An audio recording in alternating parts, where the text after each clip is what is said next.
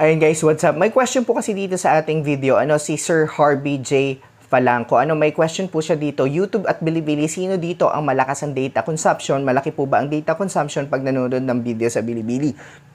Ayun sir, sasagutin kita based doon sa pagkakaalam ko. Ano, maaari pong tama, maaari din pong mali. Pero mas, maybe mga 90% ah, tama po ako dito sa akin pong iniisip. Ano, sa akin pong pagkakaalam kasi medyo matagal na rin po ako sa YouTube at sa tutorial. Ano, so ngayon, Sir Harvey, ang pagkakaalam ko sa isang video na pinapanood mo, mataas ang consumption niya kung mataas po ang quality ng video. For example po, mayroon po tayong tinatawag na ah, quality ng video na 4K. Yung 4K po ang alam kong pinakamataas. Ano, mayroon pong 1080p, 720p, ayan po.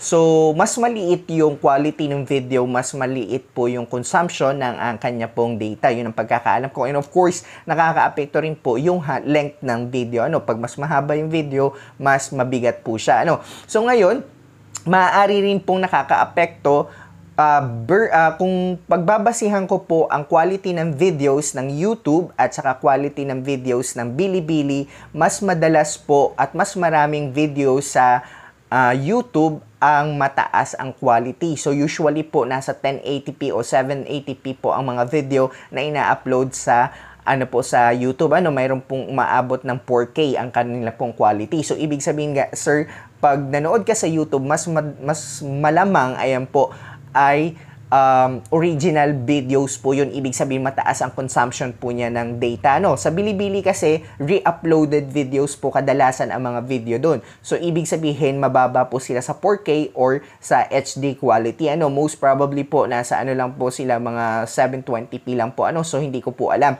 So, pero based dun sa nakikita ko ng mga video sa Bilibili ay na mababa po ang quality. Mababa din, ma, hindi rin po ma- clear yung sounds. Ibig sabihin, hindi po siya original video. So, ibig sabihin po, mababa ang consumption ng data ng Bilibili videos kumpara sa YouTube. Ano? So, pwede rin pong nakakaapekto yung laki po ng memory na kinakain ng isang app. Kasi guys, kasi sir, ano, pag chinek ko dito ang ano ang Bilibili po, pag chinek ko yung kanyang app, ay makikita ko po dito ang storage po niya is 999 MB lang po. Ano, so maaari pong nakakaapekto rin ito kasi po uh, kumbaga mas malaki or mas mala- marami yung tumatakbo doon sa system po nung app. Ano? So sa uh, YouTube po, pag chinek natin yung YouTube, ang alam ko po ay nasa uh, 1 GB mahigit po siya. So 1.15 GB po yung storage usage niya. Ibig sabihin maaaring mas marami yung ano yung system na tumatakbo doon sa loob ng YouTube. So mas malaki po yung maaaring consumption din ng YouTube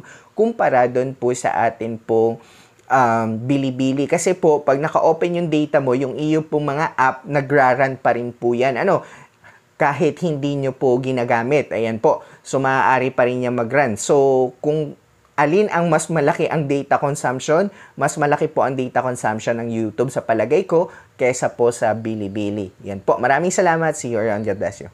Bye-bye.